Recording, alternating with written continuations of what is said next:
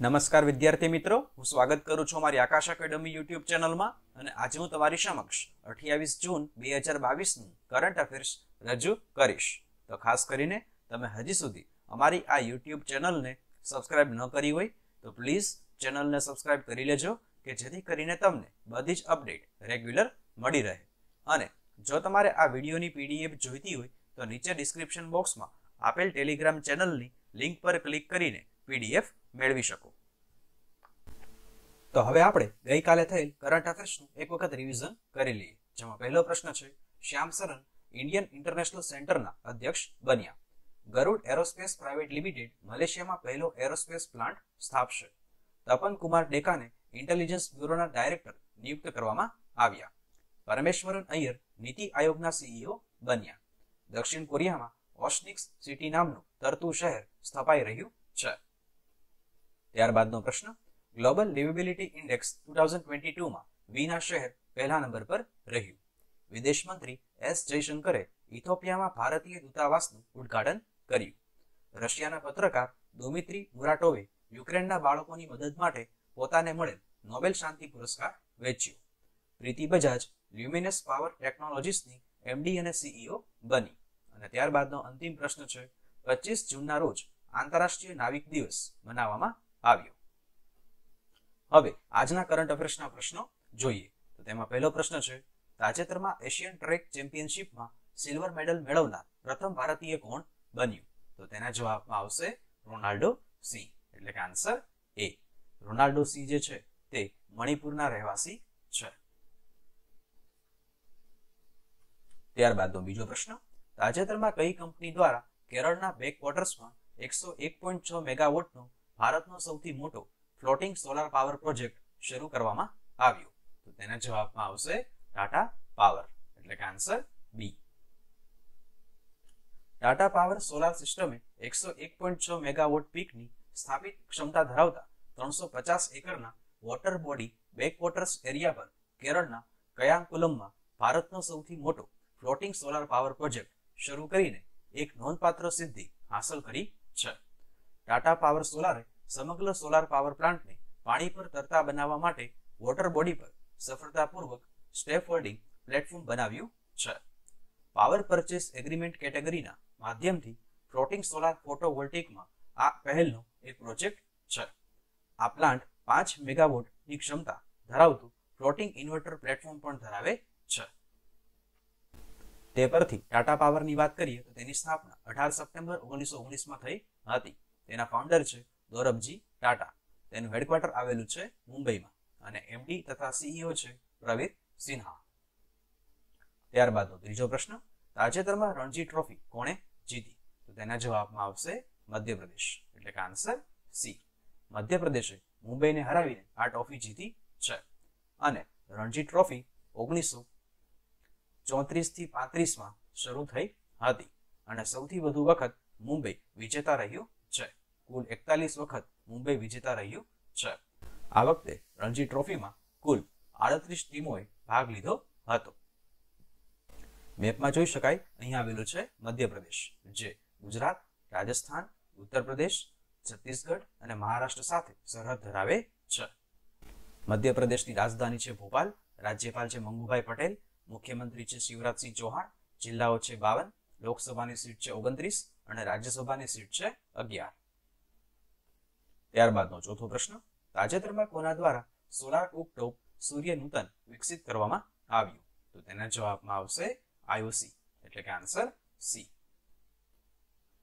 Indian oil corporation ભારતની અગ્રણી oil company Surya Nutan એક નિશ્ચિત રિચાર્જેબલ ઇન્ડોર કુકિંગ સ્ટોવ વિકસાવ્યો છે.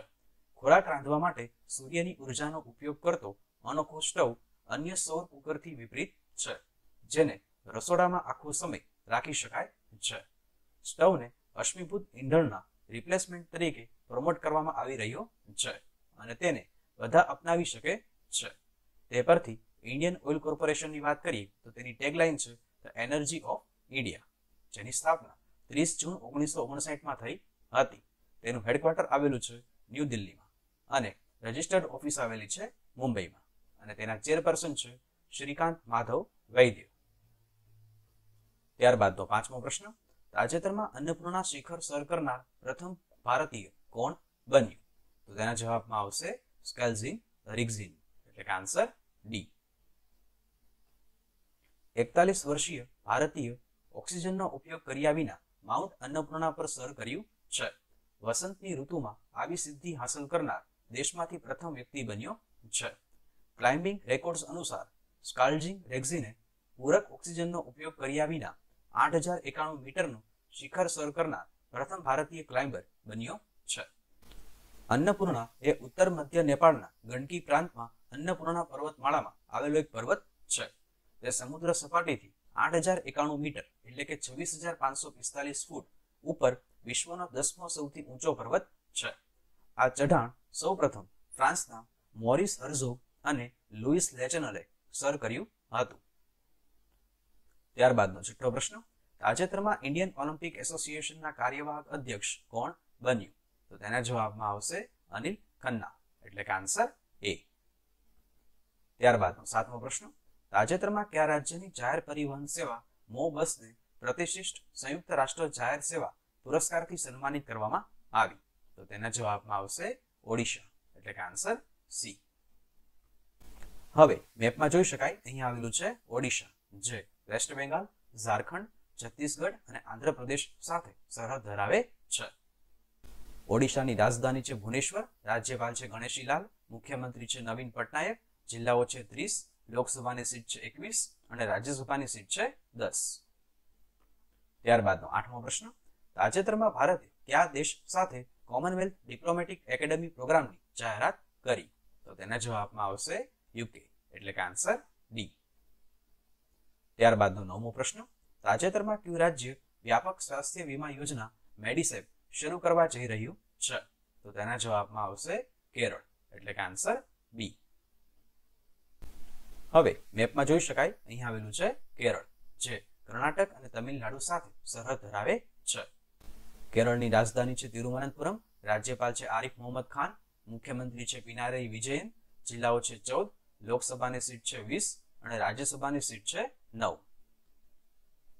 ત્યારબાદનો દસમો પ્રશ્ન, તાજેતરમાં આંતરરાષ્ટ્રીય એમએસએમઈ દિવસ ક્યારે મનાવવામાં આવ્યો?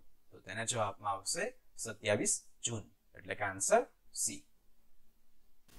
ત્યારબાદ, દિલ્હી એરપોર્ટ સંપૂર્ણપણે હાઇડ્રો અને સોલાર પાવરથી સંચાલિત ભારતનું પહેલું એરપોર્ટ બન્યું. ઇન્દિરા ગાંધી ઇન્ટરનેશનલ એરપોર્ટ સંપૂર્ણપણે હાઇડ્રો અને સોલાર એનર્જી પર ચાલતું દેશનું પ્રથમ એરપોર્ટ બની ગયું છે, જેનું લક્ષ્ય બે હજાર ત્રીસ સુધીમાં નેટ ઝીરો કાર્બન એમિશન એરપોર્ટનું લક્ષ્ય હાંસલ કરવાનો છે. Delhi international airport limited, GMR infrastructure લિમિટેડની આગેવાની હેઠળનું કન્સોર્ટિયમ ને જે દિલ્હી એરપોર્ટનું સંચાલન કરે છે, તેણે બે હજાર છત્રીસ સુધીમાં એરપોર્ટને હાઇડ્રો ઇલેક્ટ્રિક પાવર સપ્લાય કરવા માટે હિમાચલ પ્રદેશની હાઇડ્રો ઇલેક્ટ્રિક જનરેટિંગ કંપની સાથે કરાર કર્યો છે.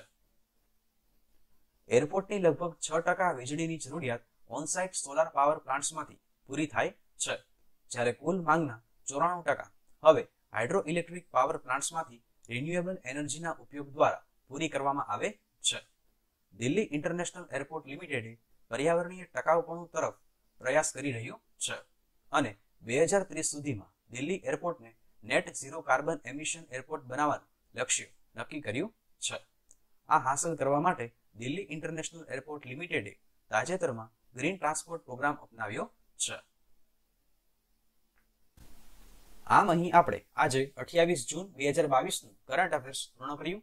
જે પ્રશ્નમાં મારે તમને ડિટેલ સોલ્યુશન આપવાની જરૂર પડી તે બધા જ પ્રશ્નોમાં મેં તમને ડિટેલ સોલ્યુશન આપ્યું. તો વીડિયો ગમ્યો હોય તો પ્લીઝ વિડીયોને શેર કરજો લાઇક કરજો અને અમારી આ યુટ્યુબ ચેનલને સબસ્ક્રાઇબ કરજો.